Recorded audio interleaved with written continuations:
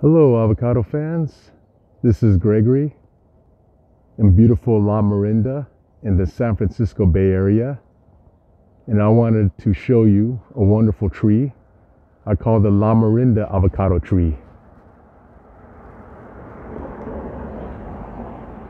According to Gary Gragg, the tree is believed to be about 50 years old.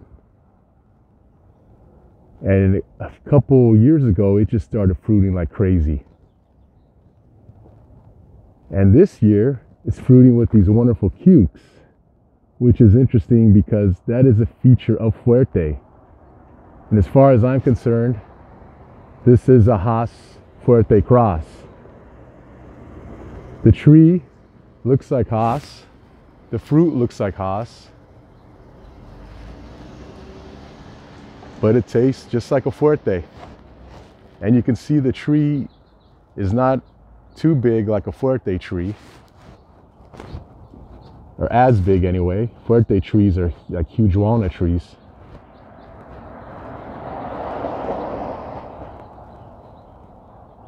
Please like and subscribe. Enjoy these videos. Thanks for watching and you have a good day.